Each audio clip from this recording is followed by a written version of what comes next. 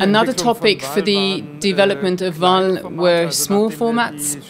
So after we have made standards of the typical wash basins, we have now gone into particularly small economical formats which are nonetheless very important in public areas, in gastronomy, as well as in private areas and in guest toilets. Ähm, so what's the smallest possible format for the wash basin with all the comfort and convenience? Äh, Let's say function that is important and the thin body thickness is of course predestined for these formats. So we take up this old theme of the console, which is integrated in the basin, also with texture. We take up asymmetrical shapes again.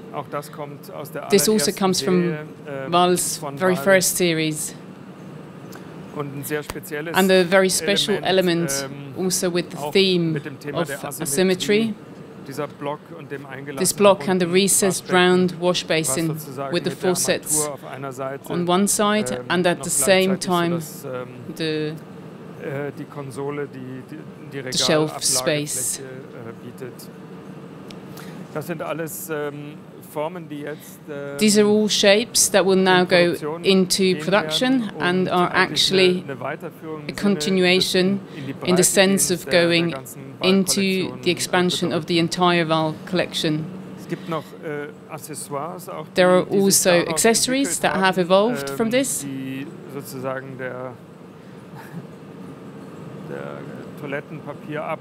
The toilet paper holder, made of the same material in a similar design language, äh, is connected and extends the function in the same product language, in the same product family.